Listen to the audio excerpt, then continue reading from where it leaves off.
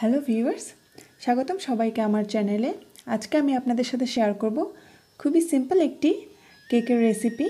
বাসায় পড়ে থাকা নরম কলাটা দিয়েই আপনারা এই কেকটি তৈরি করে নিতে পারবেন। এটি দেখতে যেমন সুন্দর, খেতেও তেমন অনেক মজা। আপনাদেরকে আমি কেটে দেখাচ্ছি। আপনাদেরকে আমি দেখালেই বুঝতে পারবেন যে আসলে কেকটি কতটা নরম এবং স্পঞ্জি হয়েছে। খুবই সিম্পল একটা রেসিপি এবং খুবই অল্প সময়ের মধ্যেই আপনারা এটা বাসায় তৈরি করে নিতে পারবেন। দেখুন এর ভেতরে কেমন দেখতে হয়েছে। দেখুন কি পরিমাণ সফট হয়েছে কেকটি। আশা করি আপনাদের ভালো লাগবে। চলুন তাহলে দেখি কীভাবে আমি কেকটি বানিয়েছি। আমার চ্যানেলটি যদি আপনারা এখনও সাবস্ক্রাইব করে না থাকেন, তাহলে প্লিজ আমার চ্যানেলটি সাবস্ক্রাইব করুন এবং পরবর্তী ভিডিও সম্পর্কে নোটিফিকেশন পাওয়ার জন্যে এর পাশের বেলাইকনটিতে চাপ দিয়ে রাখুন। ওয়েলকাম টু শ্রাবণীস কিচেন আমি এখানে একটি কলা নিয়ে নিয়েছি।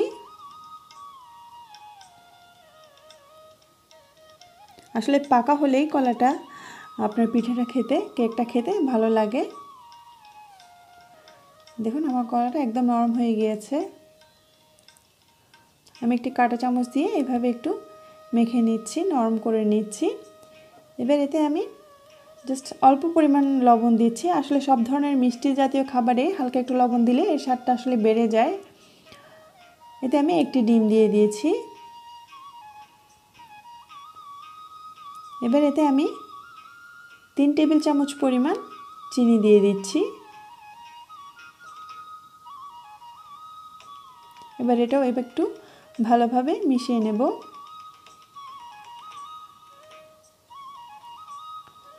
এতে এবার আমি বাটার দিয়ে দিচ্ছি। এতে আমি পঁচিশ গ্রাম দুই টেবিল চামচ পরিমাণ বাটার দিয়ে দিয়েছি। বাটারটা অবশ্যই একটু নর্মাল টেম্পারেচারে দেবেন।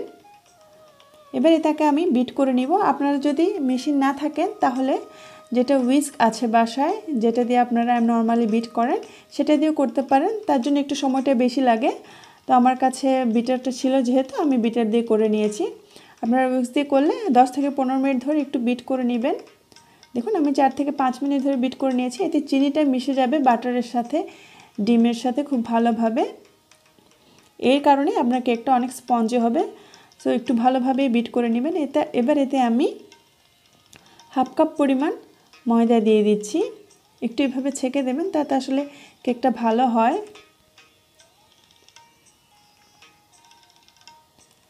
আবারও আমি মিক্স করে নিচ্ছি।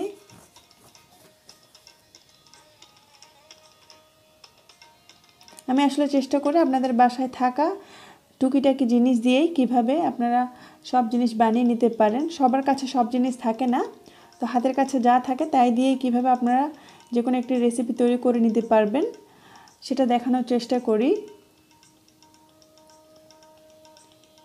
দেখুন, এবার এতে আমি এক চামচ পরিমাণ বেকিং পাউডার দিয়ে দিচ্ছি। আমার এই বেকিং পাউডারে ভ্যানিলা এসেন্স যোগ করা, ভ্যানিলা পাউডারটাও যোগ করা, তাই এটা আমি আলাদা করে দিচ্ছি না। আপনারা দিলে আলাদা করে দিতে পারেন।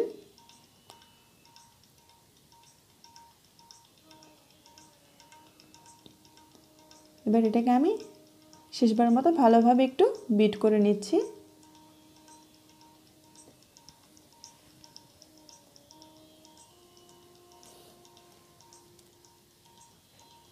হয়ে গিয়েছে, আমার ব্যাটার তৈরি হয়ে গিয়েছে।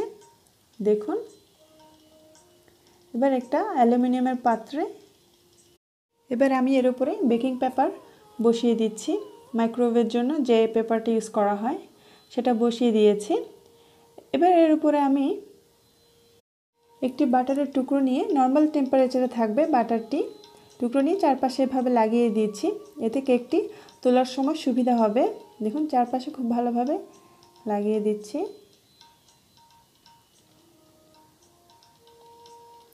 মাছ লাগানো হয়ে গিয়েছে। এবার কাগজটা আমি ভালোভাবে বসিয়ে দিচ্ছি। দেওয়ার পরে এতে আমি হালকা একটু ময়দার গুঁড়ো এভাবে ছিটিয়ে দেব। বাস এতে এবার আমি কেকের বেটারটি ঢেলে দিচ্ছি। আমার কেক রেডি।